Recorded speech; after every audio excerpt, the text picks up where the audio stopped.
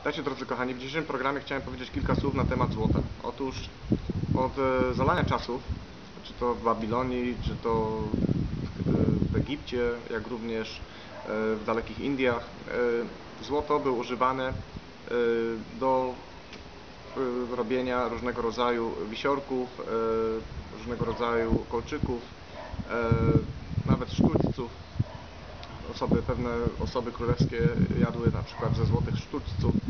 E, Nawet w Europie w czasach przed jeszcze II wojną światową można spotkać e, wzmianki o tym, że po prostu były robione narzędzia, m, były robione łyżki złote i widelce złote. Tak, było to po prostu używane wielokrotnie przez e, ludzi z naszego społeczeństwa. Ja dodam, że właściwości złota są lecznicze dla zdrowia.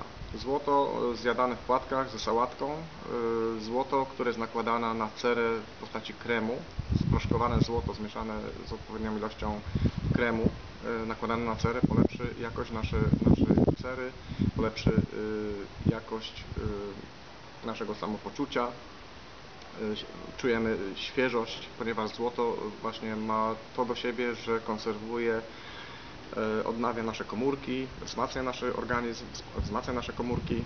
E, Ja polecam mm, Państwu noszenie e, złotych e, kolczyków dla kobiet, jak również e, noszenia złotych medalionów dla kobiet, dla mężczyzn, ponieważ złoto ma to do siebie, że po prostu daje nam dużo energii.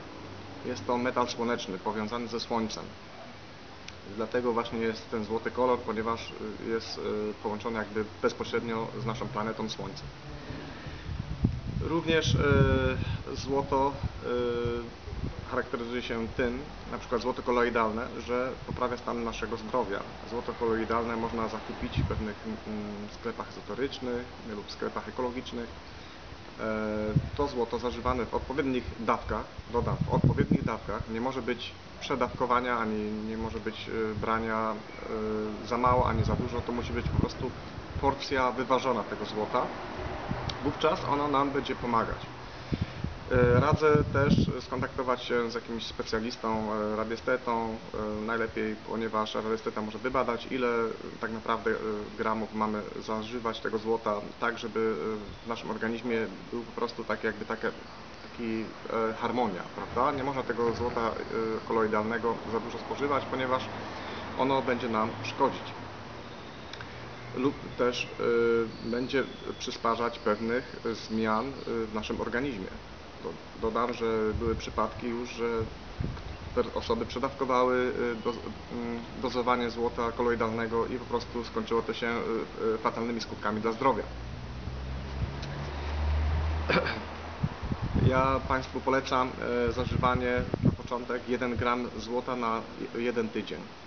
To tak mniej więcej by była taka dawka mniej więcej e, minimalna, którą można zażywać, można po prostu to złoto koloidalne spożywać. Jak również chciałem powiedzieć kilka słów o srebrze koloidalnym, ponieważ srebro koloidalne wielu osobom jest potrzebnym, które już są e, bardzo zmęczone życiem, pracą, jakby takie osoby, które potrzebują takiej jakby renowacji własnej energii, e, jakby wznowienia własnej energii, własnej siły. No to właśnie polecam zażywanie złota, e, srebra koloida- koloidalnego, taką rzeczkę taką płaską od e, kawy na jeden tydzień.